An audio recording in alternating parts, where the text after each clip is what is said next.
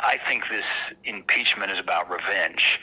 Uh, remember, this is the second time the Democrats have impeached uh, President Trump. They've been obsessed with impeachment before President Trump even took office back in January of 2017.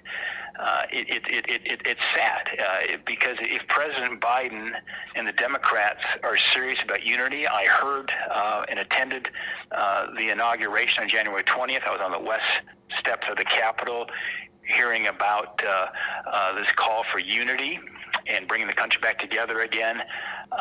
President Biden could have stepped up, made one call to Speaker Pelosi, and called this off.